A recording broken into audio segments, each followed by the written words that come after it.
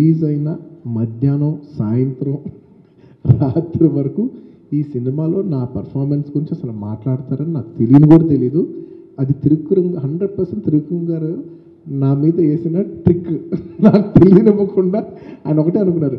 మీకు తెలియను ఆయన తర్వాత చెప్పారు. మీకు తెలియనివ్వకుండా మీతో బాగా చేయించాలని నేను ఫిక్స్ అయ్యి చేయించానని.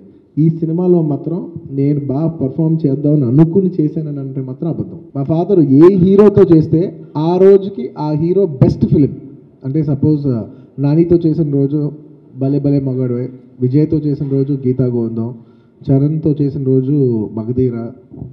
అంతకుముందు ఎవరితో చేస్తే అంతకుముందు అప్పుడు కళ్యాణ్ గారితో చేసినప్పుడు Jalsa. That is the highest collected film నేను ఆయనతో చేసినప్పుడు సరైనోడు చేసినప్పుడు కూడా ఆ రోజుకి నా ఫిలిమ్స్లో హైయెస్ట్ అనమాట బట్ ఇవాళ ఆల్ టైం కొట్టడం అనేది స్పెషల్ కాబట్టి ఖచ్చితంగా రెమ్యునరేషన్లో నుంచి కూడా ఒక వినతి పత్రం దీని పేరు బన్నీ గారి తరఫున అరవింద్ గారి గీత ఆర్ట్స్ పంపించాల్సింది నేను కూడా కోరుకుంటున్నాను. నా అభ్యర్థిని మన్నించండి అందరూ.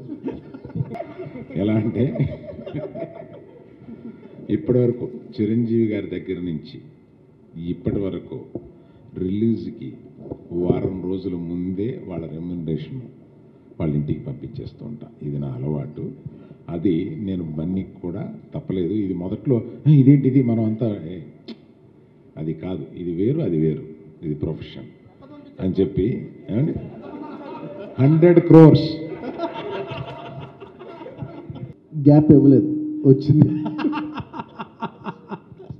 ఇంకా ఇంకా రాదు కూడా. ఇంకా రాదు కూడా. ప్రతి ఫిలింలో ఒక్కొక్క విషయం నేర్చుకున్నాను. ఈ సినిమా వరకు మీరు నేర్చుకున్న విషయం అండ్ ఆ ఆ విషయమే ఇవాళ ఈ సినిమాకి one of the main key success అవ్వడానికి రీజన్ ఏంటంటే మేము ఓపెన్గా ఉన్నాం. అంటే we addressed every issue at every given time అంటే ఎవరన్నా వద్దు ఇది కొంచెం ఇబ్బందంగా ఉంది ఒకసారి చూసుకోండి అని ఇలాంటి మాటలు అన్నప్పుడు మనం జనరల్గా బ్రష్ ఆఫ్ చేసేస్తాం.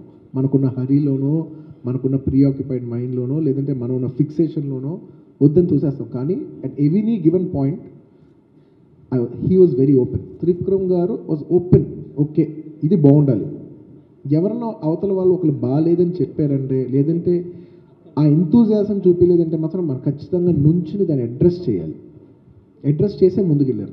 అది అంటే ఇట్స్ వెరీ వెరీ డిఫికల్ట్ ఒక ఒక సీన్ లోపలికి వెళ్ళేప్పుడు అంత రాసుకున్న తర్వాత నైట్ మార్నింగ్ దాని అంత ఫీల్ అయిన తర్వాత అందులో చేంజ్ అడిగితే గబుక్కుని ఎవరు ల్యాండ్ అవ్వలేరు.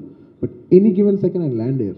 ఎందుకంటే ఆయన ఒకటే మాట్లాడారు సార్ మన వాళ్ళు మనకు చాలా సాఫ్ట్గా చెప్తారు సార్ ఆడియన్స్ చాలా హార్ష్గా చెప్తారు. మనం అది క్యాచ్ చేసి ఇంటెలిజెంట్గా ఉండాలి. సో నేను ఆ విషయం నేర్చుకున్నాను.